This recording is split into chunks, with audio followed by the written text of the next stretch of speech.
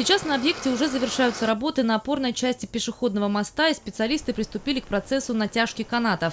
Они были изготовлены во Франции и доработаны в Германии. Материалы подходят для использования в самых экстремальных условиях. Макет данного проекта прошел предварительную проверку в аэродинамической трубе с сейсмической нагрузкой в 9 баллов.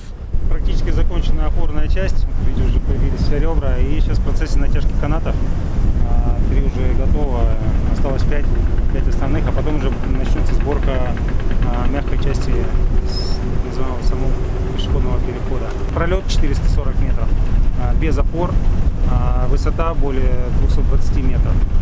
И, и консоль у нас э, более 30 метров.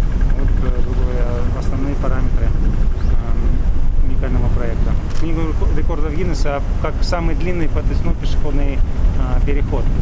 Пешеходный мост через Мзымту станет основной частью развлекательного комплекса и будет называться Sky Bridge. Опорная часть моста из металлоконструкции станет смотровой площадкой. Рядом с ней будет расположен аттракцион банджи-джампинг, более известный как Тарзанка. К услугам поклонников роуп-джампинга аттракцион Маятник. И это далеко не полный перечень развлечений в данном комплексе.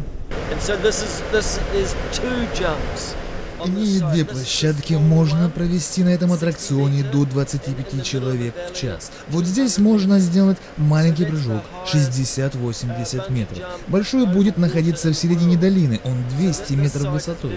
Эта конструкция уникальна тем, что прыжок будет из здания, и это будет самый высокий в мире прыжок над поверхностью. То есть вы будете прыгать над рекой.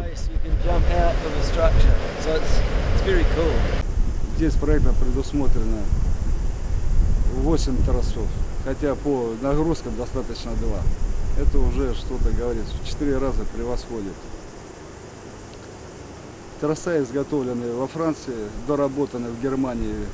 Они прошли предварительную натяжку и покрыты гольфрамом. Гольфрам – это материал, который увеличивает долговечность. На следующей неделе специалисты экстрим-комплекса отправятся на стажировку и пройдут обучение под руководством мастеров из Новой Зеландии. В сентябре на сочинском объекте состоятся первые тестовые прыжки, а для туристов комплекс откроется не ранее декабря. Ольга Десятого, Татьяна Нагорская, телекомпания «ФКТ».